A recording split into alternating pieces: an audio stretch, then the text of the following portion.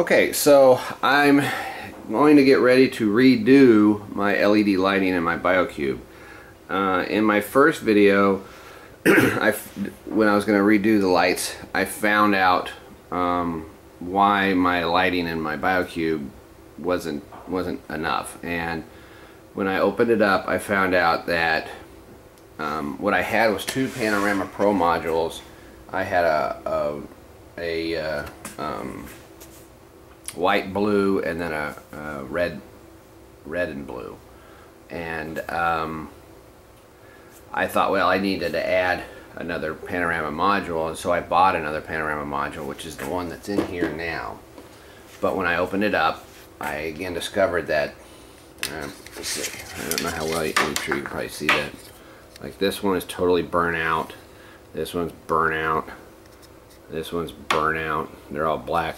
It, it, basically what had happened is I had burnt out half of the LEDs that were in, were in the fixture, in the two fixtures. So instead of running on two fixtures, I was really running on one. So anybody that has a question whether you can get by with one module, the answer is no. You really need at least two. Well, I was really frustrated by this. So I went ahead and I contacted Ecoxotic, the makers of the Panorama Pro modules, and even though Ecoxotic uh, did not have to replace my units because I was outside of the warranty, the warranty on the on the modules is one year, and I was about a year and a half. They sent me two brand new Panorama Pro modules to replace the ones that were damaged, that I damaged, and so I can't say enough about Ecoxotic. Tremendous, tremendous customer service. I was absolutely flabbergasted. I was hoping to get a break on some replacement modules. That was my hope. But for them to totally replace them, unbelievable. Uh, so if you are coming down to a couple different brands on doing some kind of an LED lighting upgrade and Ecoxotic is one of them, I would factor that into your decision. Uh, very, very proud, or very, very happy with their decision.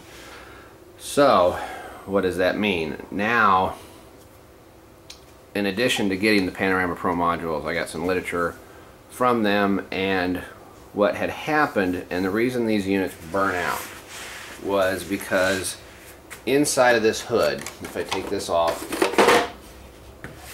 underneath here there are two fans and the fans made a lot of noise and I kind of concluded that well since I'm running LEDs I really don't need the fans.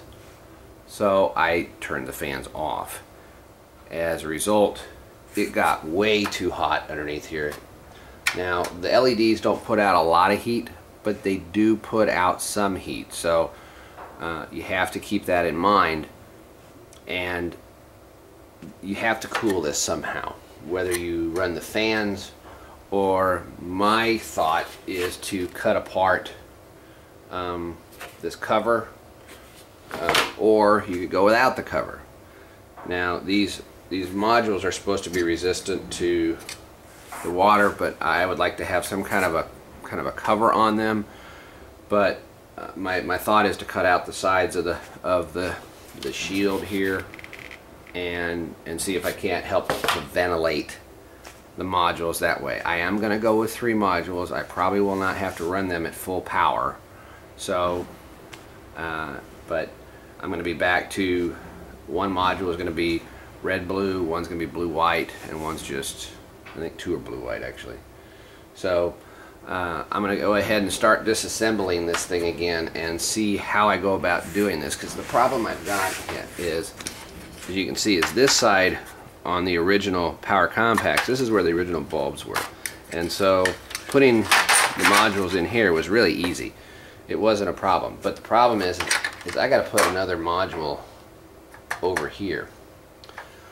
Or I got to figure out a way to squeeze in three there. I don't, I'm not sure which way, I don't know that I can put three in there. But my thought was to, to take this off and then remove all of the fans and the wiring because I am totally removing the fans from this uh, operation. So let me get started there and I'll be right back. Okay, so I got the shield this thing removed and it goes like that but and you can see all the wires I got down under here um, some of the stuff was disconnected before from my first modification and I'm gonna go ahead and I'm gonna remove the fans and all the hardware here to open this all up. But it's not real involved at this point but like I said my my goal is to eliminate um, the fans from the cooling so I don't have the noise but I also am still able to cool. So let me take those out that stuff out and I'll be right back okay so I've got all the stuff out of here and I think I've come up with an idea of what I'm gonna do. Um, there are you can see there are little mounting holes all over through here to hold the shield and all that stuff in place. I really don't need the reflector shield because these have their own reflectors and and but I looked at it and I thought well maybe I could mount them that one there and it actually lines up with the two holes and I could do two of them like that. That's one option. And then the third would go back here somewhere. I'm not sure exactly how. But I, I really would would prefer to have the lights centered in the fixture.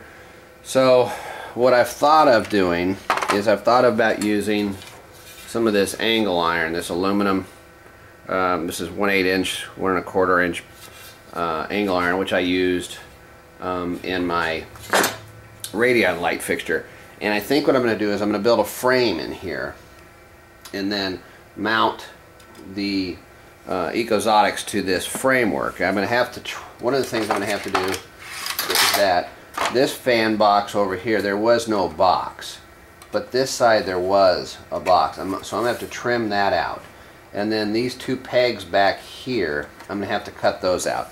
And I'll just use my Dremel to do that. Just a rechargeable Dremel, the batteries out of it. But So I'm going to cut all that out and then uh, I can start figuring out my frame and then I'm just going to cut the, the pieces and, and piece together the, the framework of this of this mounting apparatus and then so then I'm going to go ahead and, and put the three units in there like that. So let me get started on that and uh, I'm going to Dremel this stuff out and then I'll be right back. Okay, so here's what I've done. Um, all I've done is just remove all the wiring and the fans and then I cut um, just using uh, my Dremel. Um, I cut out the the bracket that was around this fan box and then there were two pegs, one here and one here that I had to cut out too. So that's all I've done. All the rest of the stuff is still in place. And I took a piece of the uh, the L brace, the angle iron, um, and I made two holes and um, and I mounted this to the two pieces over here. Now I'm not sure if I'm just going to go with that or if I'm going to go ahead and put some more do something down here but the problem is is there's no other mounts down here. So if I'm going to do something here I'm probably going to have to put something else across or I don't know. I think to be honest I think this is good enough. I think it's pretty solid. And these things eh, they don't weigh that much. Um, but there's really, like I said, there's nothing else really to mount it to down here. But I do like how putting the lights across on here is going to take, and there's going to be some space back behind, because here's where it dissipates heat back here. And if you flush mount that, it can't dissipate that heat, so it cooks the side and it cooks the light. So by elevating that, you get air behind there and it helps on, on heat dissipation. So I'm going to go ahead and mount the other side and uh, we'll see where we get to. I, I, like I said, I think I'm probably just going to go ahead and, and put them on here. I don't know whether I'm going to screw them on there or whether I'm, I'll probably screw them on um, because I, I don't think there's that much to it. Uh, it's pretty easy. This stuff's pretty easy to screw to uh, drill through and and uh, to put a screw in. So I'll probably go ahead and do that. But we'll we'll see what what it looks like uh, after I get it done here.